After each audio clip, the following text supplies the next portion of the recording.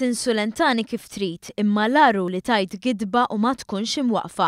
Dan kliem l-artist Felix Busuttil li wara li indirizza l-mass meeting Laburista fin-Naxxar, safa fil-mira ta' attakki mill-Partit Nazzjonalista u mill-blogger Daphne Caruana Galizia.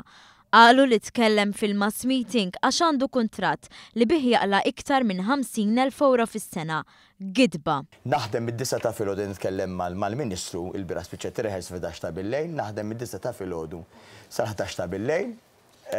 Dawn huma waħda dawn huwa l-ewwel prova ta' gidba li li jien għandi l-prova tiegħu hawnhekk fuq dil-mejda li jiena ma Dak huwa l-kuntratt Huwa l-kuntratt tal-Arts Council Malta hawnhekk.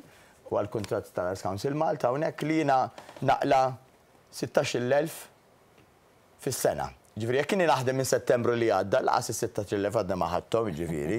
Jiġifieri, u naqla', naħdem, naħdem daqs kull ċittadin ieħor. Felix Busuttil hu żeffien ta' esperjenza kbira u l-kontribut tiegħu fil-qasam artistiku huwa wieħed imfittex. Però stqarr li ma xtaqx jasal fil-punt li saħansitra jkollu juri kuntratt ta' xogħlu, xi ħaġa li tkun personali.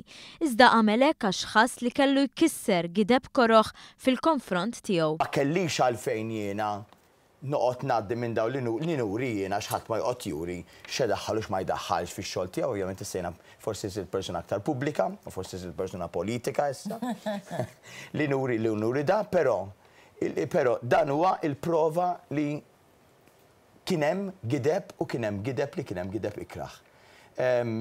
U naħseb kissirna naqra naqra waħda mill-ideoloġijiet tan-naħħa l-oħra li hu kollox jew kważi bbażat fuq il-gideb. Intant One Breakfast iddiskuta l-Jum Kontra l-Omofobija fl-isfond tas-suċċess li kiseb pajjiżna f'dan il-qasam. Erba' snin li fissru d-dinjità għall-persuni LGBTIQ u Felix Busuttil ħass differenza kbira f'ħajtu. differenza minn kull aspett mil-livell amministrattiv għal pajjiżu, b'Malta, li llum iħoss li fetħet dirgħajha għalih. Naraw li xi ħadd f'awtorità li ngħitina rispett u l-istmat, mhux niċċelebraw, festa nagħmel, u meta noħroġ barra minn Malta, festa ikbar nagħmel li ngħid Malta tiegħi, Malta li nħobbha, Lili tistmani daqs kull persuna oħra.